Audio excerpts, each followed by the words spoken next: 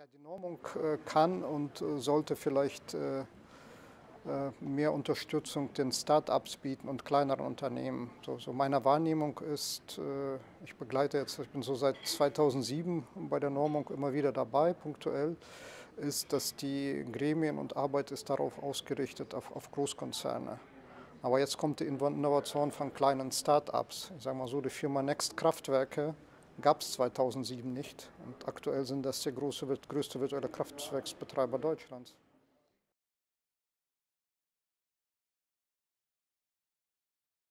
Dass man den äh, Zugriff äh, im Sinne von Open Data, Open Repository, zumindest den lesenden Zugriff auf die Standards äh, breit eröffnet und die äh, Hemmschwelle senkt, vor allem bei den kleineren Firmen oder auch bei die, diese zu nutzen und anzuwenden.